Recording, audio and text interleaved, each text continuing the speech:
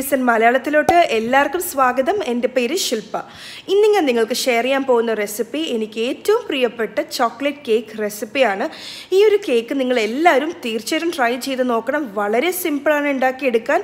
ഇതിന്റെ റിസൾട്ട് എന്ന് വെച്ചാൽ സൂപ്പറാണ് ഭയങ്കര നല്ലതാണ്.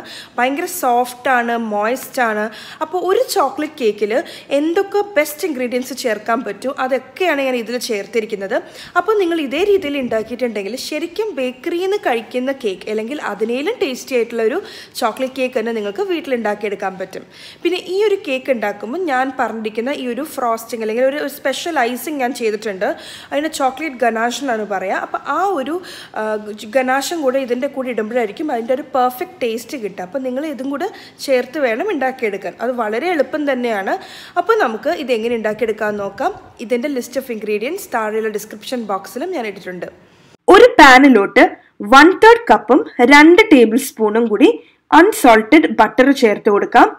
ഇതിന്റെ കൂടെ തന്നെ ഞാൻ കാൽ കപ്പ് എണ്ണയും ചേർത്ത് കൊടുക്കുന്നുണ്ട്.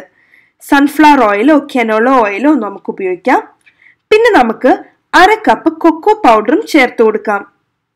ഇതിന്റെ കൂടെ തന്നെ നമുക്ക് ഒന്നര കപ്പ് പാലും ചേർത്ത് കൊടുക്കാം. പിന്നെ നമുക്ക് അര ടീസ്പൂൺ കോഫി പൗഡറും ചേർത്ത് കൊടുക്കാം. നമ്മൾ സാധാരണ കോഫി കുടിക്കാൻ ഉപയോഗിക്കുന്ന പൗഡർ ഉണ്ടല്ലോ അതൊക്കെ തന്നെയാണ് ഞാൻ ഇവിടെ ചേർത്തിരിക്കുന്നത്.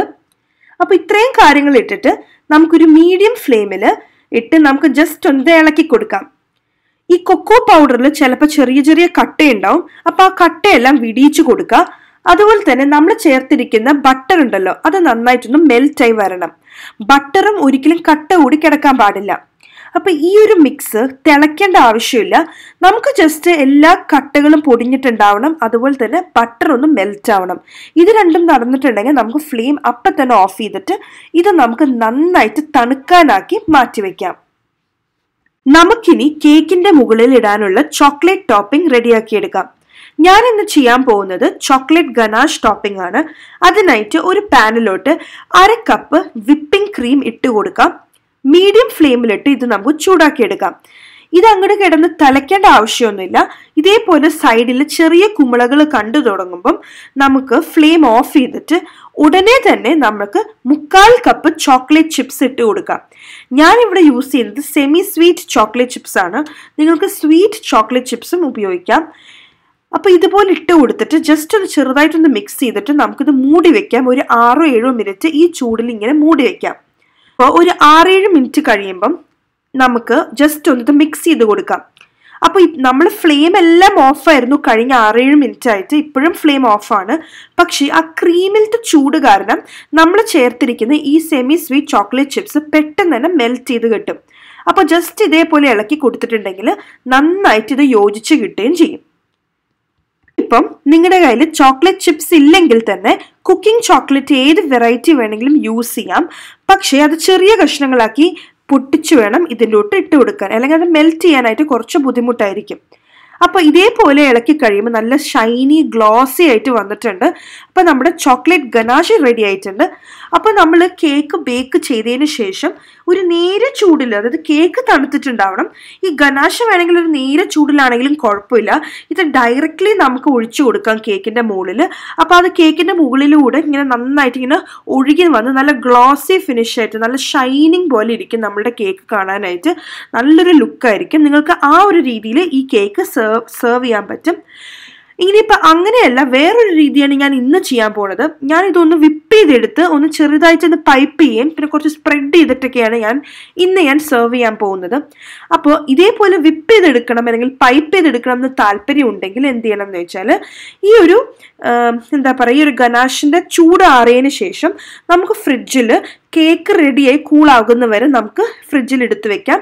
ഒരു അരമണിക്കൂറൊക്കെ എടുത്തു വെച്ചാലും മതിയാകും. അതിൽ കൂടുതലൊന്നും ആവശ്യമില്ല. അപ്പോൾ കുറച്ച് സമയം എടുത്തു വെക്കുക ഫ്രിഡ്ജിൽ അപ്പോൾ ഈ സമയം കൊണ്ട് നമുക്ക് നമ്മുടെ കേക്ക് റെഡിയാക്കി എടുക്കാം. നമ്മൾ ഈ ഗനാഷ് ഉണ്ടാക്കാൻ ഉപയോഗിക്കുന്ന ചോക്ലേറ്റ് ചിപ്സ് ആണെങ്കിലും അല്ലെങ്കിൽ നിങ്ങളിപ്പോൾ ബേക്കിംഗ് ചോക്ലേറ്റ് ആണെങ്കിലും യൂസ് ചെയ്യുന്നത് അത് എന്തായാലും സെമി സ്വീറ്റ് ആയിരിക്കണം അല്ലെങ്കിൽ സ്വീറ്റ് ആയിരിക്കണം. ഒരിക്കലും ബിറ്റർ ആയിട്ടുള്ള അതായത് കൂടുതൽ കൊക്കോ ഉള്ളത് കയ്പുള്ളതായിട്ടുള്ള ചോക്ലേറ്റ്സ് ഇതിൽ യൂസ് ചെയ്യാൻ പാടില്ല. നമ്മൾ നേരത്തെ ഉണ്ടാക്കി വെച്ചിരിക്കുന്ന ആ കോഫിയും കൊക്കോ പൗഡറൊക്കെ ഇട്ട് മിക്സ് ഉണ്ടല്ലോ. ആ മിക്സ് ഇപ്പം നന്നായിട്ട് തണുത്ത് വന്നിട്ടുണ്ട്. അപ്പോൾ ഇതേപോലെ നന്നായിട്ട് തണുത്തതിന് ശേഷം നമുക്ക് ഇതിലോട്ട് ഒരു കപ്പ് മൈദ ചേർത്ത് കൊടുക്കാം. അതായത് ഓൾ പർപ്പസ് ഫ്ലവർ ആണ് മൈദ. അത് ഒരു കപ്പ് ചേർത്ത് കൊടുക്കാം. പിന്നെ നമുക്ക് ഇതിന്റെ കൂടെ ഒന്നര ടീസ്പൂൺ ബേക്കിംഗ് പൗഡർ ചേർത്ത് കൊടുക്കാം. ഇതിന്റെ കൂടെ തന്നെ കാൽ ടീസ്പൂൺ ഉപ്പും ചേർത്ത് കൊടുക്കാം. പിന്നെ നമുക്ക് ബേക്കിംഗ് സോഡ അര ടീസ്പൂൺ ബേക്കിംഗ് സോഡയും ചേർത്ത് കൊടുക്കാം. അതുപോലെ തന്നെ നമുക്ക് ഇതിലോട്ട് ഒരു കപ്പ് പഞ്ചസാര. പഞ്ചസാര പൊടിക്കേണ്ട ആവശ്യമൊന്നുമില്ല. അല്ലാണ്ട് തന്നെ ഒരു കപ്പ് പഞ്ചസാരയും ഈ ഒരു കപ്പ് പഞ്ചസാരയുടെ കൂടെ ഒരു രണ്ടര ടേബിൾ സ്പൂണും കൂടി പഞ്ചസാര ചേർത്ത് കൊടുത്തോളൂ. ഒരു കുഴപ്പമില്ല. കാരണം അല്ലെങ്കിൽ ചിലപ്പോൾ ഇച്ചിരി മധുരം കുറഞ്ഞു പോകും. അപ്പോൾ എപ്പോഴും പഞ്ചസാര ചേർക്കുമ്പോൾ ഒരു കപ്പ് പ്ലസ് ഒരു രണ്ടര ടേബിൾ സ്പൂൺ പഞ്ചസാരയും കൂടെ ചേർത്ത് കൊടുക്കാം. പിന്നെ നമുക്ക് ഇതിന്റെ കൂടെ ഒരു കോഴിമുട്ടയും ചേർത്ത് കൊടുക്കാം. ഇത്രയും കാര്യങ്ങൾ ഇട്ടിട്ട് നമുക്ക് ഒരു വുഡൻ വുഡൻ സ്പൂൺ കൊണ്ടോ ഫോർക്ക് കൊണ്ടോ വിസ്ക് കൊണ്ടോ ജസ്റ്റ് ഒന്ന് നമ്മുടെ കൈ കൊണ്ട് തന്നെ നമുക്ക് ഇതുപോലെ ഒന്ന് വിസ്ക് ചെയ്തെടുക്കാം. നന്നായിട്ട് അത് മിക്സ് ആയിട്ട് ഉണ്ടാവണം. എന്നിട്ട് നമുക്കിത് ഗ്രീസ് ചെയ്ത് നന്നായിട്ട് പാച്ച്വൻ പേപ്പർ വെച്ച് ലൈൻ ചെയ്ത ഒരു കേക്ക് ടിന്നിലോട്ട് നമുക്കിത് ഒഴിച്ചു കൊടുക്കാം. അപ്പോൾ ഈ സമയത്ത് ഞാൻ എന്റെ ഓവൻ വൺ എയ്റ്റി ഡിഗ്രി സെൽഷ്യസിൽ ഞാനൊരു ഇരുപത് മിനിറ്റ് എങ്കിലും പത്ത് ഇരുപത് മിനിറ്റ് എങ്കിലും ഞാൻ പ്രീഹീറ്റ് ചെയ്യാൻ വെച്ചിട്ടുണ്ട്. അപ്പോൾ നമുക്ക് ഈ ഒരു ബാറ്റർ ഇതിലോട്ട് ഒഴിച്ചു കൊടുത്തതിന് ശേഷം ഒരു പത്തിരുപത് മിനിറ്റ് പ്രീഹീറ്റ് ചെയ്തതിന് ശേഷം നമുക്കിത് ഓവനിൽ വെച്ച് ബേക്ക് ചെയ്തെടുക്കാം. ഏകദേശം മുപ്പത്തഞ്ച് മുതൽ നാൽപ്പത് മിനിറ്റ് വരെയാണ് ഇതിന്റെ ബേക്കിംഗ് ടൈം. എന്നാൽ പോലും ഓരോ ഓവൻ ഡിപ്പെൻഡ് ചെയ്തിരിക്കും. അപ്പോൾ നിങ്ങൾ ഒരു ഇരുപത്തഞ്ച് മിനിറ്റ് കഴിയുമ്പോൾ തന്നെ ഒന്ന് ശ്രദ്ധിക്കാൻ നോക്കുക. ടൂത്ത് പിക്ക് വെച്ച് കുത്തി നോക്കുമ്പോൾ അത് ക്ലീനായി വരുന്നിട്ടുണ്ട് എങ്കിൽ അത് നന്നായിട്ട് കുക്കായിട്ടുണ്ട്. നമുക്കതൊരു പ്ലേറ്റിലോട്ട് മാറ്റിയിട്ട് കമിഴ്ത്തിയിട്ട് അതായത് കേക്ക് നന്നായി ചൂടാറിയതിന് ശേഷം നമുക്കത് മാറ്റി വെച്ച് ഇതിന്റെ പാർച്ച്മെന്റ് പേപ്പറെല്ലാം ഊരി വെച്ച് തണുക്കാനാക്കി വെക്കാം. ഏകദേശം കുറച്ചും കൂടെ തണുക്കാനുണ്ടെങ്കിൽ അതൊന്ന് തണുക്കാനാക്കി വെക്കാം. അതിനുശേഷം നമുക്ക് നമ്മളുടെ വിപ്പിംഗ് ക്രീം റെഡിയാക്കി എടുക്കാം അപ്പോൾ ഇപ്പോൾ ഏകദേശം കുറച്ച് തണുത്തിട്ടുണ്ട്. നമുക്ക് സാധാരണ നമ്മളൊരു വിപ്പിംഗ് ചെയ്യണത് എങ്ങനെയാണ് ഒരു ബീറ്റർ വെച്ചിട്ട് ബീറ്റ് ചെയ്തെടുക്കുക. നന്നായിട്ട് ബീറ്റ് ചെയ്യുക. ഒരു കുറച്ച് സമയം ഒരുപാട് സമയം നമ്മുടെ നാലഞ്ച് മിനിറ്റ് ഒക്കെ മാക്സിമം മതി. അത്രയും തന്നെ വേണ്ട. അടിച്ച് നന്നായിട്ട് ക്രീമായിട്ട് വന്നു കഴിയുമ്പം നമുക്കൊരു പൈപ്പിംഗ് ബാഗിൽ ഇട്ട് കൊടുക്കാം. അപ്പം ഇന്ന് എനിക്ക് പൈപ്പിംഗ് ബാഗ് എന്റെ വീട്ടിൽ സ്റ്റോക്ക് ഇല്ലായിരുന്നു. അതുകൊണ്ട് തന്നെ ഞാൻ പാച്ച്മെന്റ് പേപ്പറും കൊണ്ട് ഒരു ഒപ്പിച്ച ഒരു പൈപ്പിംഗ് ബാഗാണ് ഞാൻ ചെയ്തത്. ഒരു സ്റ്റാർ നോസലോ അല്ലെങ്കിൽ ഏതെങ്കിലും ഇഷ്ടമുള്ളൊരു നോസൽ വെച്ചിട്ട് നമുക്ക് ഈ ക്രീം പൈപ്പ് ചെയ്ത് തണുത്ത കേക്കിന്റെ മുകളിലോട്ട് ഇട്ട് കൊടുക്കാം. അപ്പോൾ ഈ പൈപ്പിംഗ് ബാഗ് എന്ന് പറയുന്നത് ഞാൻ എന്റെ കറക്റ്റ് അല്ലാത്ത പൈപ്പിംഗ് ബാഗ് ആയതുകൊണ്ട് തന്നെ എനിക്ക് ഒരുപാട് പൈപ്പ് ചെയ്യാൻ പറ്റിയില്ല ഇപ്രാവശ്യം. പക്ഷേ ഞാൻ നിങ്ങൾക്ക് കാണിക്കാൻ വേണ്ടി ഞാൻ ഒരു പോർഷൻ മാത്രമാണ് പൈപ്പ് ചെയ്തത്. നിങ്ങൾക്ക് ഇഷ്ടമുള്ള പോലെ ചെയ്യാം. അല്ലെങ്കിൽ നിങ്ങൾക്ക് വെറുതെ സ്പ്രെഡ് ചെയ്യുക ഒരു നൈഫ് വെച്ച് ഫുൾ കേക്കിൽ സ്പ്രെഡ് ചെയ്യുകയും ചെയ്യാം. അത്രയേ ഉള്ളൂ. വളരെ ടേസ്റ്റി ആയിട്ടുള്ള ചോക്ലേറ്റ് കേക്ക് റെഡി ആയിട്ടുണ്ട്.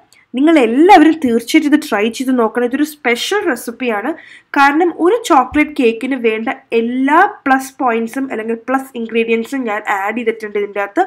ഏറ്റവും ടേസ്റ്റി ആക്കാൻ വേണ്ടിയിട്ടുള്ള എല്ലാം തന്നെ ഞാൻ ആഡ് ചെയ്തിട്ടുണ്ട്. അപ്പോൾ നിങ്ങളെല്ലാവരും തീർച്ചയായിട്ടും ഇത് ട്രൈ ചെയ്യുക.